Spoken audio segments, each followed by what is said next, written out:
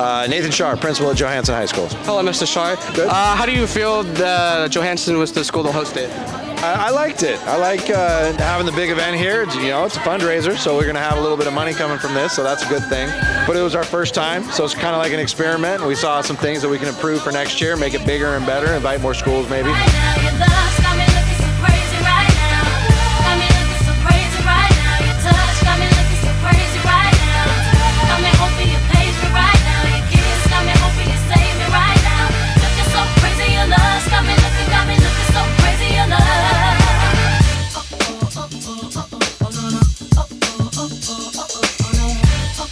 Why should people join cheer? I personally think people should join cheer because at the beginning of the year we weren't as good as we are now, but we learned to grow as a team and we became like a family and it's honestly just amazing. That's why we that's why you should join cheer.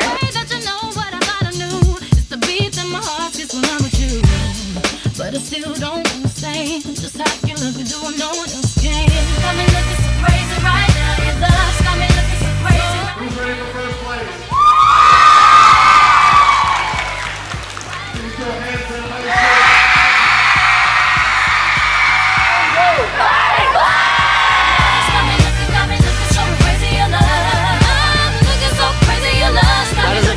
First place? Uh, amazing. It, it just it feels like all of our hard work from the season has just paid off and it's honestly just a really good feeling to me and all my team.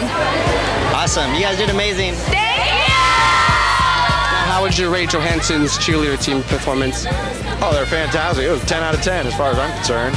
And started doing the stunts, and they got that big circle thing going on. I was like amazed, absolutely amazed. Thank you for spending some time to interview. I hope you have a great afternoon. Sounds good. Thank you. You have a good day too. You too.